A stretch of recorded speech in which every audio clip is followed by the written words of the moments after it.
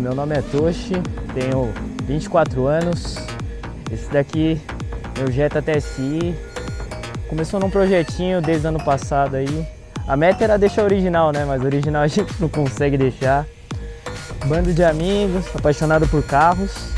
E, cara, a nossa intenção mesmo é modificar o mais possível. Tô nesse cenário aí de mexer com carro, principalmente por causa das amizades, né? A gente vê um carro, vê um carro ali, a gente fala, pô, quero fazer igual. Esse daqui é meu Jetta. Primeiramente começamos com mudança de farol aqui. Obviamente é da China, né? Porém as lentes são originais. Fizemos o Chrome Delete, molinha Zayback, né? Que tem que ter um tapinha, um grauzinho. Aí ele vem com projetor já. Esse farol de milha shock light. Ó, então galera, internamente aqui a gente decidiu colocar um kit duas vias da Opera.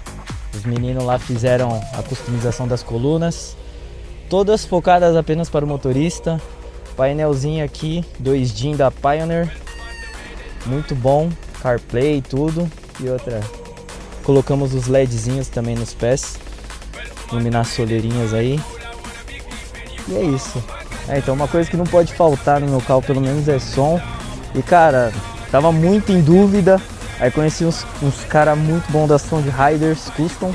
E cara, meu, não tem o que falar. Customizaram demais o porta-mala, cara. Dá uma olhada.